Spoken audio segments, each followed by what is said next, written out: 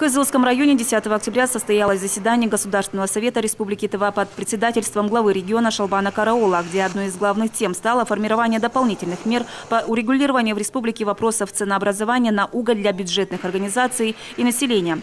Вопрос снижения цены на уголь для населения вынесен на Резгоссовете, поскольку именно на муниципалитеты ляжет основная нагрузка в этом проекте, сообщается на официальном сайте правительства Тувы. Отмечается, что в схеме снижения тарифа вырисовывается два направления. Первое – это транспортные издержки издержки, поскольку стоимость доставки часто превышает цену самого угля.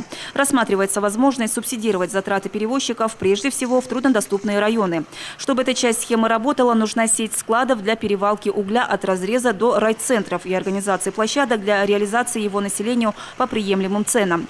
Также отмечается, что до 1 ноября передаются в безвозмездное пользование администрациям районов топливные склады бывшего Рестопсбыта. Второе направление – стоимость самого угля. Административных рычагов влияния на угледобывающие компании нет, поэтому сегодня выход видится только в создании собственного угольного предприятия, которое могло бы целенаправленно работать на обеспечение потребностей республики в топливе. Работа по этой части уже началась. Предстоит искать предпринимателей, которые согласятся на создание совместного с республикой предприятия.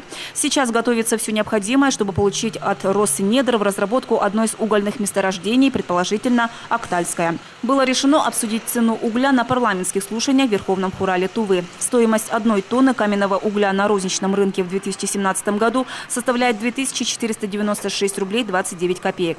С ростом к уровню 2016 года на 5,5%.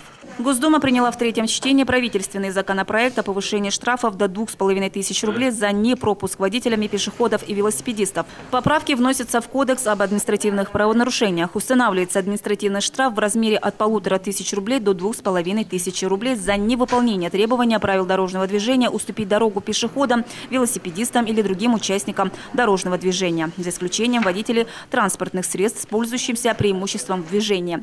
В действующей редакции КОАП установлен штраф штраф в размере полутора тысяч рублей. О курсах валют доллар стоит 57 рублей 92 копейки, а евро 68 рублей 50 копеек.